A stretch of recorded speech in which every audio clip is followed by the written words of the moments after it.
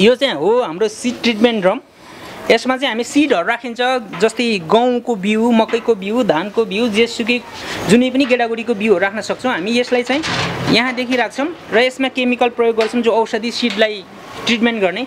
अनि यसरी राखिसकेपछि हामी यसमा घुमाउँछौँ। घुमाइसकेपछि यो पूर्ण रूपले एकदम राम्रोसँग यो चाहिँ मिक्सिङ हुन्छ र ट्रिटमेन्ट हुन्छ। जसलाई कि हामीले हातले गर्दाखेरि एकदम केमिकल हातमा लाग्ने है त्यो राम्रोसँग त्यो चाहिँ मिक्सिङ नहुने समस्याहरू आउँथ्यो। त्यसको लागि यो बनाइएको सिड ट्रिटमेन्ट ड्रम हो। यसको चाहिँ जम्मा नाइन थाउजन्ड यसको प्राइस छ। त्यसमा पनि आउनुभयो भने मिलाउन सकिन्छ। हजुर। र यसै गरी यो मिल पनि सेम त्यही मिल हो। डबल छ। र अर्को हामीसँग छ यता हेरौँ न।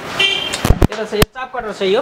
यो ह्यान्ड चाप कटर हो। यो चाहिँ अहिले मैले फिक्सिङ अवस्थामा फिक्सिङ गरेको छैन यसलाई यत्तिकै खुलै छोडिदिएको छु। यो हाम्रो तिनवटा चाहिँ यो ह्यान्ड चाप कटर हो यसलाई हातले घुमाएर यो भन्ने घाँसहरू मकैको ढोडहरू सबै टुक्रा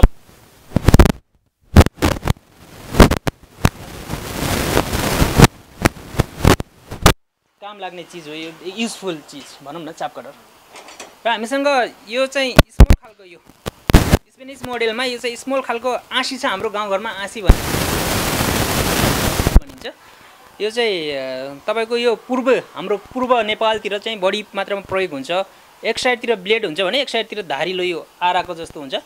यसलाई चाहिँ धान गहुँ मकै काट्नको लागि अथवा घाँस काट्नको लागि प्रयोग गरिन्छ। यसको चाहिँ हजुर एकदम राम्रो छ। आँसीको तुलनामा तपाईँको धार लगाइ दिनदिनै तपाईँको धार लगाउनु पर्ने चाहिँ यसमा हुँदैन। यो चाहिँ एकचोटि यो यस्तो खालको यो आरा स्टाइलको ब्लेड निकालिसकेपछि तपाईँको महिनौ टिक्छ। त्यसपछि यो ब्लेड चाहिँ बिस्तारै गइसकेपछि फेरि यसलाई पुनः गर्नुपर्छ दुई तिन महिना पछाडि हजुर। र यसको प्राइस जम्मा थ्री हन्ड्रेड एट्टी फाइभ छ। त्यसमा पनि आउनुहुने हाम्रा समस्त कृषकहरूलाई। केही छुट गरि नै हालिन्छ। र यसै गरी हामीसँग अर्को छ यता डिजिटल मिटरहरू। यो डिजिटल काँटाहरू हो यो वेटिङ मेसिन यो चाहिँ क्यापेसिटी टु हन्ड्रेड केजीसम्मको छ यसको चाहिँ यता चाहिँ हाम्रो वान फिफ्टी र हन्ड्रेड केजीको छ। यो चाहिँ स्मार्ट ब्रान्डको छ भने यो चाहिँ मिनट्स ब्रान्डको हो।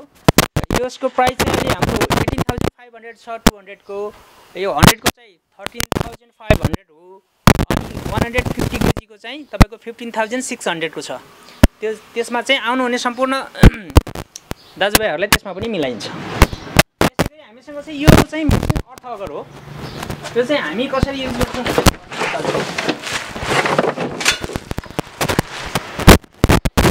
यो अर्थ अगर विशेष गरी खाल्डो खन्नको लागि प्रयोग गरिन्छ यसमा चाहिँ हामीले यसको ब्लेड लगाएका छैनौँ। यसको ब्लेड पनि म हजुरहरूलाई देखाउँछु।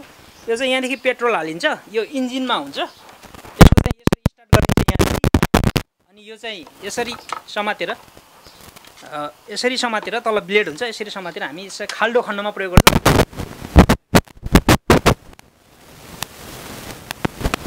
तपाईँको लगभग एक मिटरभन्दा बढी नै गहिरो त्यसले खाल्डो खन्छ मोटाइको हिसाबले तपाईँ जत्रो ठुलो साइजको मोटाइको ब्लेड राख्नुभयो त्यो हुन्छ। यसको ब्लेड पनि